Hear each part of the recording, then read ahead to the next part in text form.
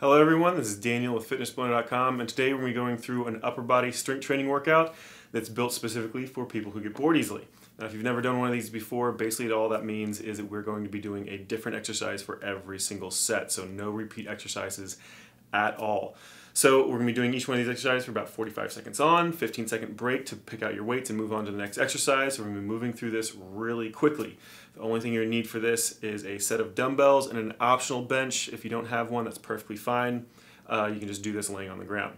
But before we get that started, we need to get our warm-up done. So let's go ahead and get that started.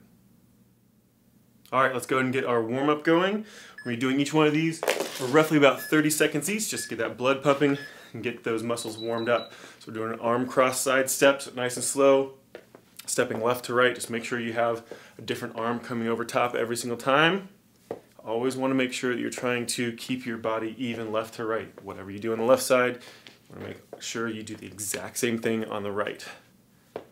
Just keep it going. Keep those lungs open. Moving into a bicep tricep curl. So you're be using both your bicep and tricep to work against one another. Slowly curl up, press it back down. Try to open those arms out, curl up, press back down. So just keep alternating back and forth, keeping it close, straight in front of your body, and then nice and slow, with those arms pointing out as wide as is comfortable. Nice, slow, controlled motion. Again, working against yourself as hard as you can. Start pushing harder and harder, really resisting that motion as much as you can towards the end.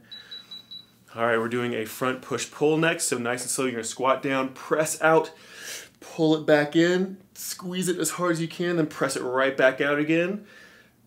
Again, same thing like with those bicep, tricep, you're working against yourself as much as you possibly can. Squeeze in, press it back out.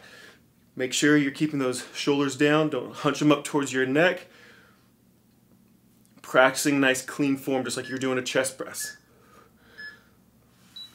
Let it relax for just a second. We're doing an overhead reach with a side bend. So you're to bring one arm over your head, bend off to that side, bring it back down, a little bit of a crunch contraction, press it out again. Again, starting with just the motion, but then working into really starting to work against yourself. So pressing those muscles in opposite directions to really get it working.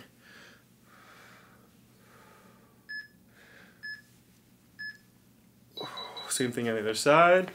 Press it out, contract.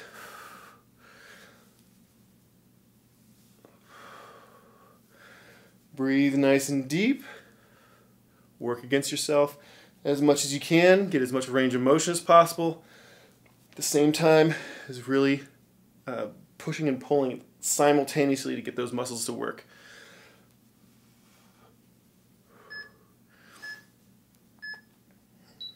Doing a toe touch sweep, so feet just about uh, shoulder width apart, a little bit wider than shoulder width apart. You can go down, sweep across those toes, come back up, back down, back up on the other side. Just keep alternating back and forth, nice and slow.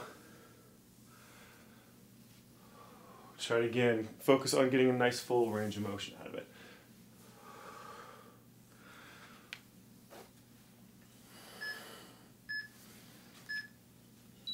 Back up. We're doing a torso rotation with the knee, so rotate those shoulders as you bring that opposite knee up. So whichever direction you're rotating, that knee is going to be the one that comes up. So rotate, try to pull your knee across in front of your body, opposite direction, pushing that knee opposite direction from those shoulders. So nice, slow, controlled motion. Work on range of motion first, then start contracting those muscles really nice and tight, working against yourself. We're gonna do some arm circles, so arms straight out from your shoulders. Nice small circle. Keep that, that spine nice and neutral, so no rounding those shoulders forward or arching back. That circle should be around that shoulder joint rather than in front of or behind your body. Reverse direction.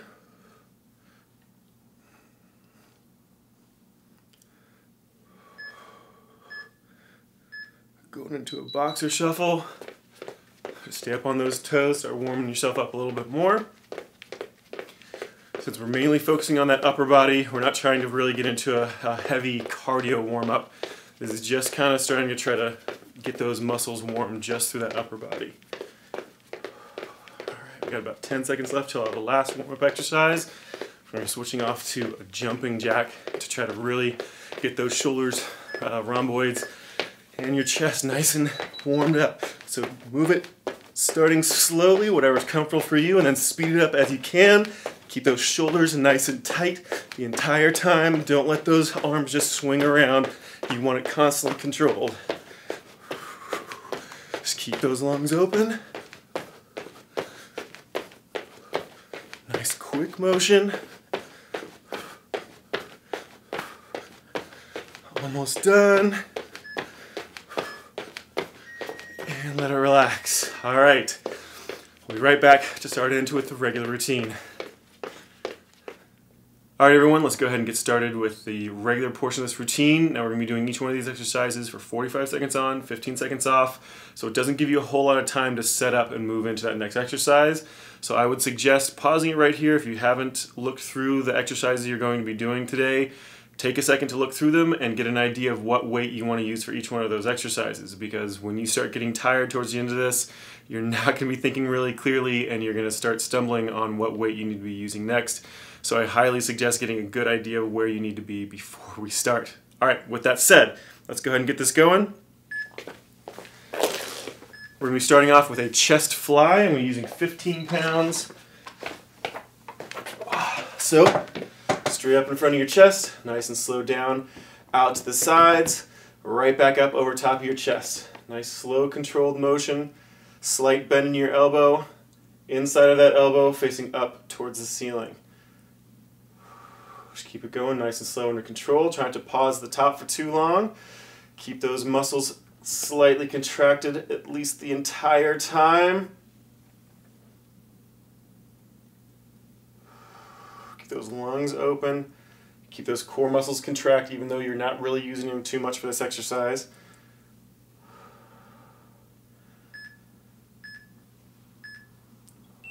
And let it relax. All right, we're moving on to a reverse fly. So this one's gonna be really wide. Most people are pretty weak in this position, so I'm using a pretty light amount of weight here. Nice flat back, tip straight forward, arms come up and out to the sides. Try to keep that chest as parallel to the ground as you can. The main thing is focusing on full range of motion. So if you can't get as much range of motion as you're seeing me, uh, getting through, you either need to work on your flexibility, try to gain that range of motion, or drop the amount of weight that you're lifting so you can go all the way through that full range of motion. You don't want to build strength in only a small portion of that range.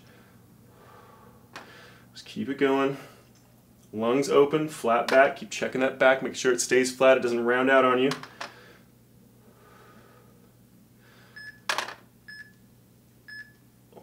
And let it relax. All right, moving on to a close chest press. Let's see.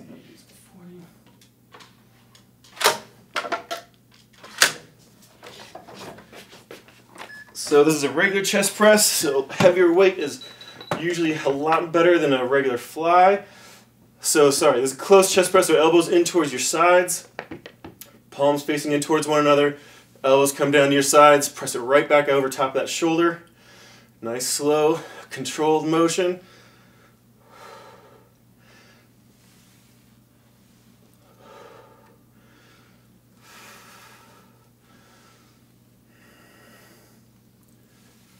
Those lungs open. Again, core muscles contracted even though they're not really working all that hard for this.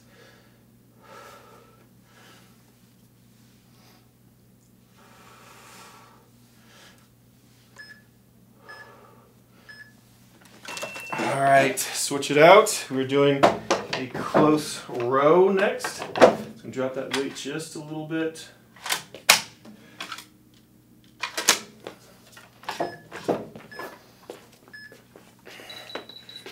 Bend over, keep those feet nice and close together. Draw those elbows up to your side. So this is probably gonna be your strongest position with a row is keeping those elbows tucked in. So that next row we're to be doing for this next group, you're going to want to drop your weight a pretty decent amount from this when we do a wide row. But before we do that, we've got a regular wide chest press.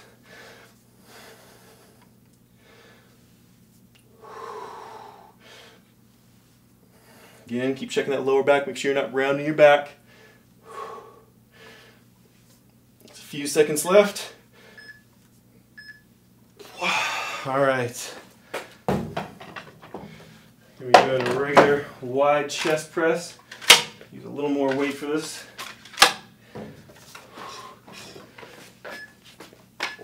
Like I said, this is gonna move really fast. So if you need to pause, take your time, by all means do so. All right, those elbows come wide, out to the side, straight out from that shoulder joint. As long as you're not lifting too heavy on this, that shoulder should be perfectly fine. Make sure that you don't overdo it on weight for these until you know you can control that range of motion. Nice slow controlled motion.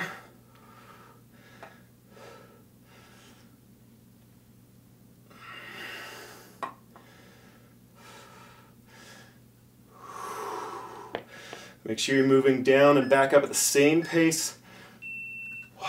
Relax. All right, we're doing a wide row, like I warned you last. I'm gonna want to use a fairly light amount of weight on this one. All right, bent over, arms come up and out to the side. Again, range of motion is more important than the amount of weight you're lifting, so don't try to get too over uh, focused on lifting more and more and more weight. It should only increase the amount of weight you're lifting if you can get through your full uh, sets, your full number of repetitions you're trying to go for, and have no problem finishing all sets. Almost done.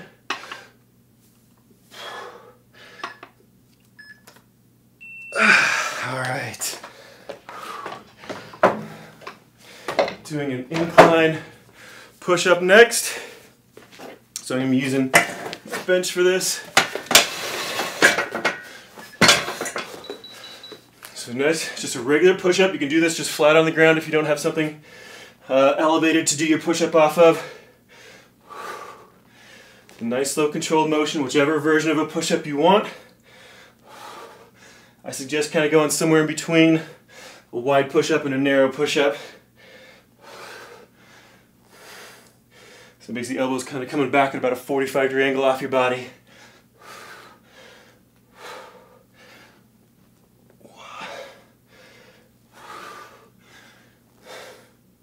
Get those lungs open.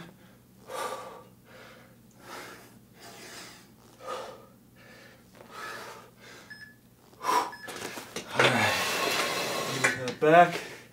We're doing a bent over incline row. So again, drop that weight just a little bit for this one. My rhomboids are getting a little tired. So tip over about a 45 degree angle and then up from there. We're trying to as closely match that angle you're doing for your push-up. So 45 is not gonna be quite right it'll be close.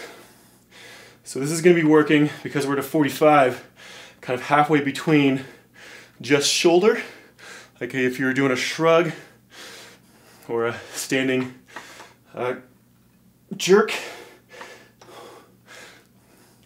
or doing a full bent over row. So it's a little bit between your trapezius and your rhomboid as far as which one's doing the most work. Wow relax. All right. We're gonna start changing our focus of which muscles we're on. So we're doing an Arnold press next.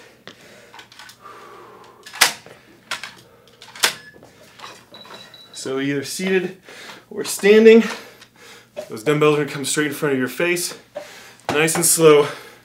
Press up and rotate out. So by the time you're finished, your palms should be facing forward.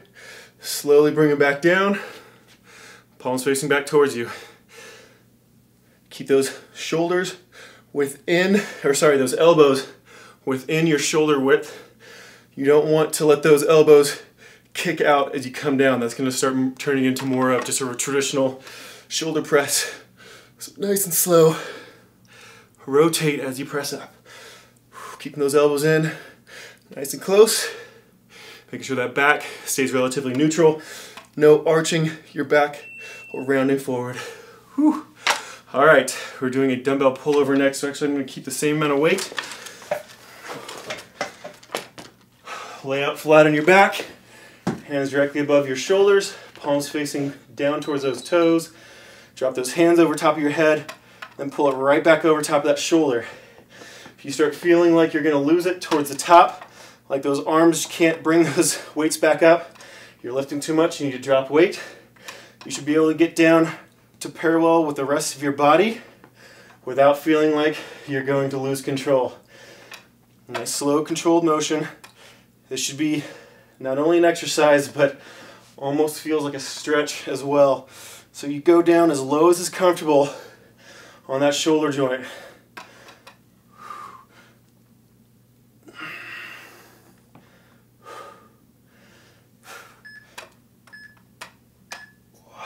And let it relax. All right, we're moving on to lateral raise. Nice and light on this one, so it's about five pounds per hand. Lateral straight out to your sides. Let's bring those dumbbells straight up, all the way over your head, right back down again to your sides, palms facing forward. We're going to be kind of mimicking this exact same motion for our next pullover. Slow controlled motion. Take your time. Don't rush through it. The slower you go, the more controlled you are, the more strength you're going to build up through that entire range of motion. If you start going too fast, you're going to start using momentum, and then you're going to start skipping spots. Make sure those arms are straight out from one another. Don't let those arms come in front of your body. Let it relax. All right. Switch to just one dumbbell. We're to start with your left side first, laying down on the ground or on your bench. That arm is going to stay straight up above that shoulder.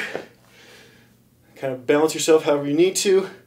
arm comes directly over top of that head. Or sorry, extend it out over top of that shoulder straight above your head. And then bring it right back perpendicular to the ground. So nice and slow out. And back up. Try to keep your shoulders perpendicular to the ground as well. You don't want them you don't want them to lean too far back or too far forward. You want to keep it straight, one on top of the other. It's going to be a little hard to do because it's a bit of an awkward position, but do what you can. Keep those lungs open, core contracted nice and tight.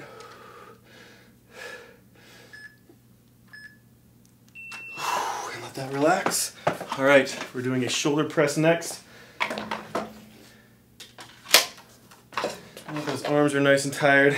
I'm to drop that weight just a little bit from what I would normally do. Let's make sure I can get through the clean form. Arms straight out to your sides. Again, standing or seated, doesn't matter. Straight up over your head, nice and slow back down. Either way, if you're seated or standing, make sure you're keeping that, that uh, excuse me, that spine neutral. Keep that back flat so you're not arching that chest, like tilting it back too much. You want to keep it pretty much straight up and down.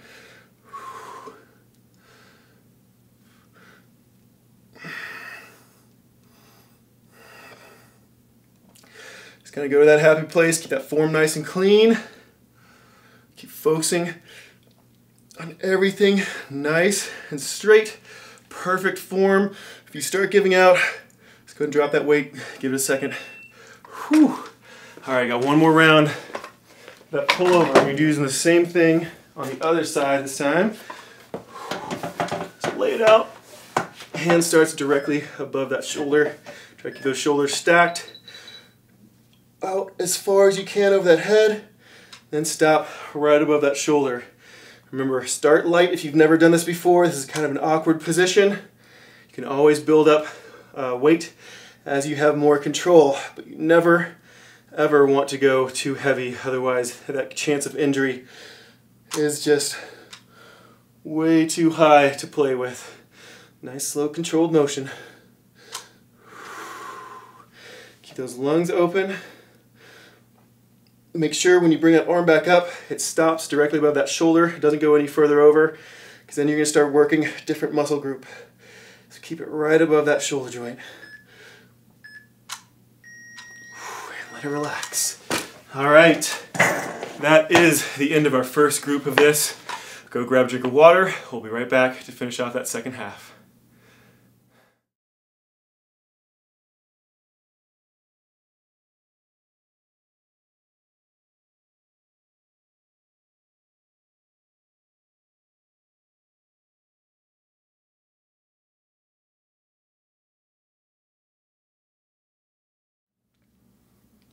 All right, everybody, we are back from our water break, so let's go ahead and jump right back into it. Start my timer here. We're starting off with an overhand curl, so definitely start light on this one if you've never done this exercise before. So, nice straight back, palms facing back behind you as much as you can. Curl up just like you would for a normal curl, just keeping those palms facing down towards the ground. Nice slow contracted motion, tight, tight squeeze the top of that range. Just like a regular curl, you want to keep that elbow directly underneath that shoulder joint. Don't let it kick back or pull forward. That's one of the big no-nos that a lot of people do is when they get up to the top of that range of motion, they bring their elbow forward and it actually allows your bicep to relax a little bit and uses more of your shoulder to do, do the range of motion. So keep that elbow back and that bicep will get a lot more work. Nice slow controlled motion, still focusing on keeping that palm facing down. Got overhead tricep extension next. You can switch your weight for that. Use a little bit more on this one. So you can do this one either seated or standing, whichever is more comfortable. And start up above your head, nice and slow, straight back, then press it right back over top of your head again. Keep that elbow directly above that shoulder. You shouldn't really be able to see your upper arm, your biceps. So if you can see them, they're tipping too far forward. So try to pull that arm back a little bit more. One thing to also be aware of is that lower back. When you're doing this kind of position, you're gonna have a tendency to want to tilt your chest back. Keep that core tight. Pull that belly button in so that spine stays neutral. No arching that lower back. Just keep it going. Hammer curls coming up next.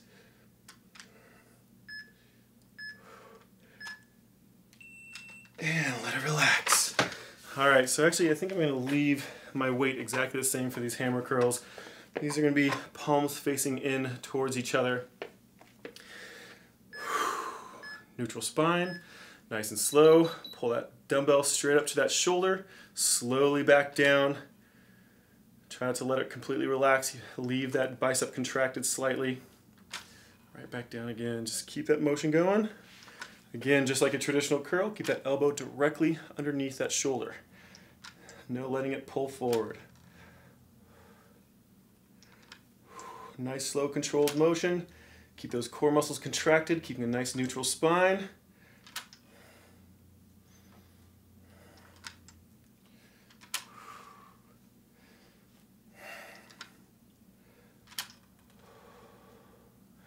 Try to let those shoulders hunch up into that neck. And let it relax. We're doing a tricep kickback next. Drop that weight by a fair amount here. I actually just did the second half of this routine just a second ago and forgot to record audio. So a lot of these exercises I'm going to be a little bit tired on, so forgive me.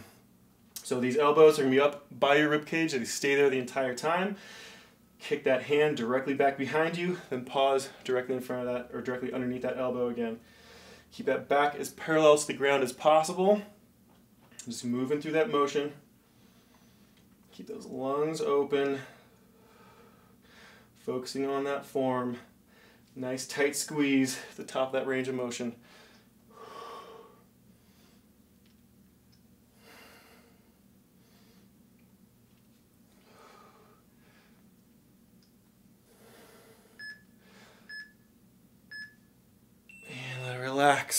Right.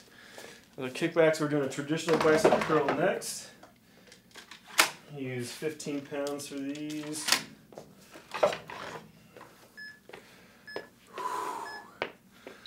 So, palms facing forward for this one, nice and slow. Curl it straight up, slowly back down.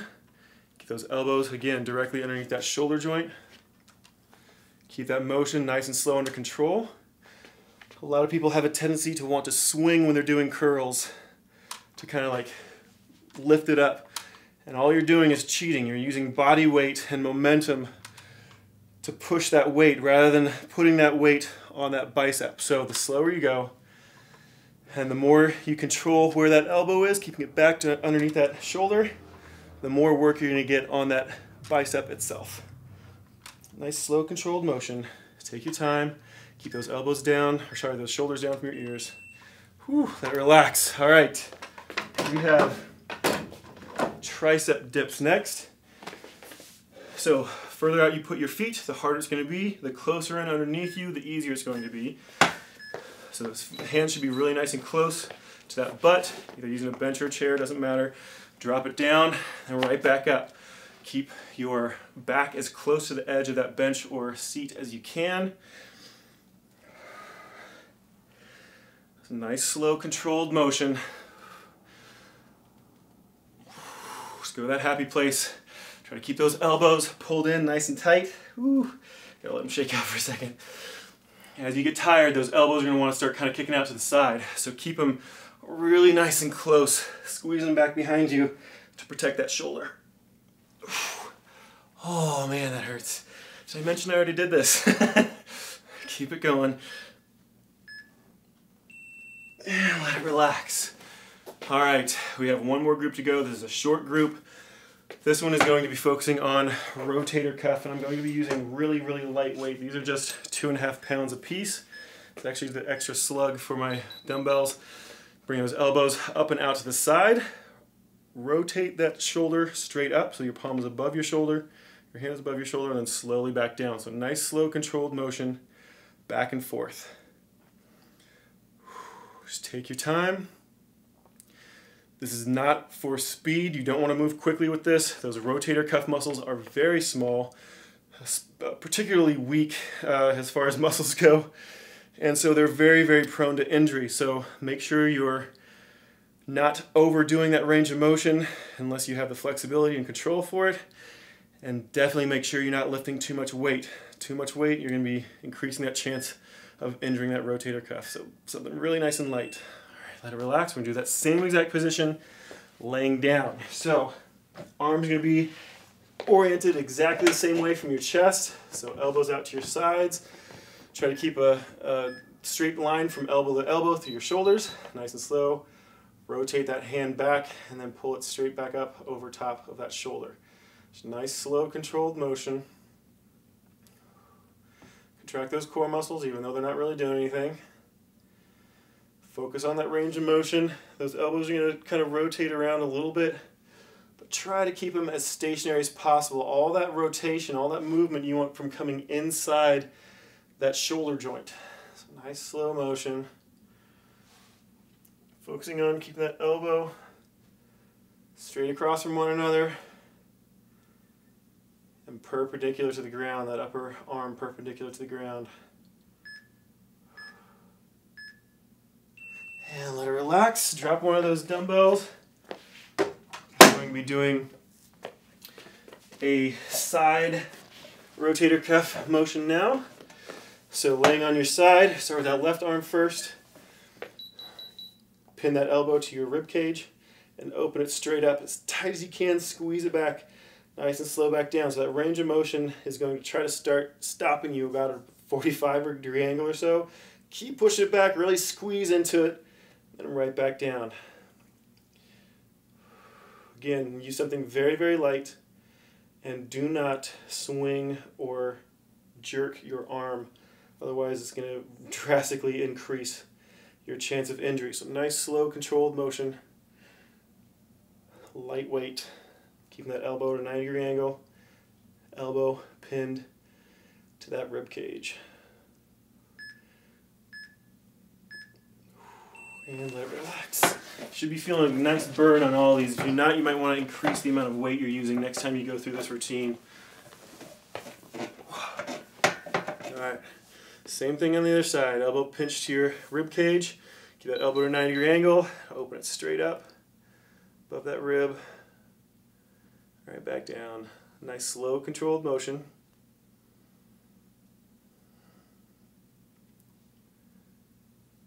These exercises are really good for building up endurance and strength and that rotator cuff, like I said, is a very, very weak muscle and very prone to injury. It's one of those things where you can kind of just sit in the car reaching back at one of your kids or something like that and you can pull that rotator cuff muscle. So it's a good idea keep them really nice and uh, in shape, keep them toned, keep them uh, endurance nice and high, and make sure they're nice and strong. And let it relax. All right, that is the end of the workout, but we still have our cool down to do, so we'll be right back to start into that. All right, let's go ahead and get this cool down done. We're doing an arm cross stretch to begin with. So standing up nice and straight and tall, bring that arm across in front of your body, grab hold of that elbow, pull across, and keep it as close to your body as you can. So you're going to be trying to feel it across that rhomboid, across that shoulder blade area. If you want to get that a little bit of a torso stretch, kind of lean away from it, lean into it, just make sure you keep that arm in pulled nice and close to try to stretch that shoulder.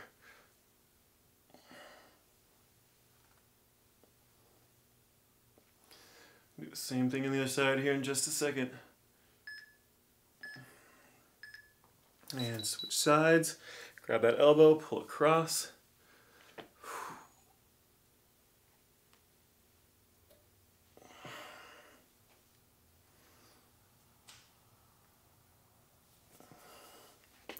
Just keep those lungs open. Really try to get a good stretch in here. Those muscles should be feeling a little bit tight, a little bit swollen. This will help kind of let them relax a little bit. Overhead tricep extension. So stretch up, stretch. Bring back that hand back to that same arm as shoulder, or hand to shoulder, and then bring that other arm up. Grab that elbow, pull across. Just keep that torso straight up and down. Try to arch your back out. Keep that, those uh, abdominal muscles contracted nice and tight. It's kind of pulling across. Should be feeling it through the back of that uh, tricep, back of that upper arm, as well as a little bit into that shoulder. Same thing on the other side. Hand to shoulder. Grab that elbow, pull across. Try to arch that lower back, keep those abdominal muscles contracted.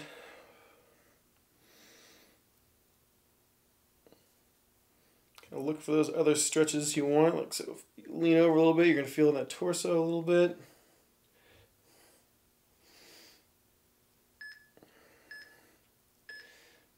Wall chest stretches next. So palm against a wall or door frame, fingers facing back behind you, and just rotate across on that hand, trying to feel it through the front of your chest. If you're feeling it in your bicep, Make sure you rotate your palm, your uh, arm so that inside of that elbow is facing up. If you want it more in your bicep, face it forward.